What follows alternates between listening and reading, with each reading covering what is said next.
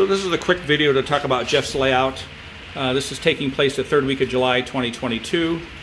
The railroad starts out uh, in a storage yard that's going to have six tracks. Right now we only have two laid in. The goal this time was to get mainline trains running and it takes off towards the east.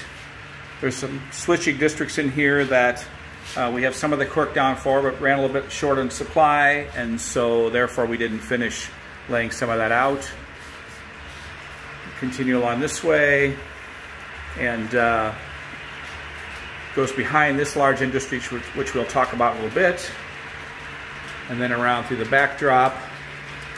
And on the other side of the backdrop this is going to be an area that he's going to have his John Deere plant which will have quite a bit of switching several spots. There's also some additional spots for some other industries here. So then we'll continue along in the main line through this portion and the next thing you come to is this very large elevator complex, which is very reminiscent of one on the Nebraska Central at Enola, Nebraska. This particular structure doesn't belong here yet, but we're just getting it out of the way as we were doing some other work. Coming along this way then, the main has a couple of industries along in here, along with an off spot. Lots of crossovers to allow for train movement uh, and for switching both the north and the south sides. This is going to eventually be his yard. There's six tracks that are going to be in this point. Obviously, at this moment, we just laid the main, but uh, we've got all the, the drawing lines done on the track for uh, for uh, setting all that up. So that'll give him. There's leads on each side, so that gives him an opportunity for um, uh, switching without getting on the main line. So each one has its own switching lead.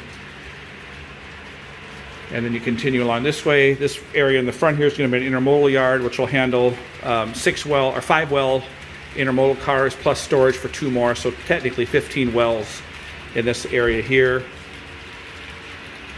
And then on this portion of the layout, we have provisions. You can see some cork in place uh, but we're going to have provisions for industries in this spot. We've drawn some things on the table already.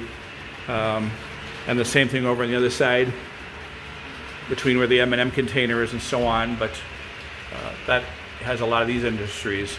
Now I'm going to walk around the wall and we'll continue on the other side.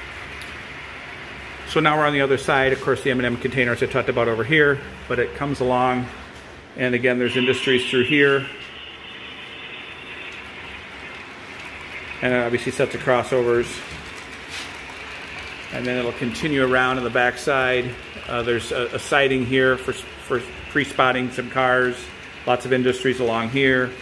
And then it continues along and then it goes back into the storage yard, which again holds six trains. So that'll be used for staging uh, east and westbound trains, uh, feeding cars to the layout, to the yards, to the industries, and so on. So that's our tour. More next time.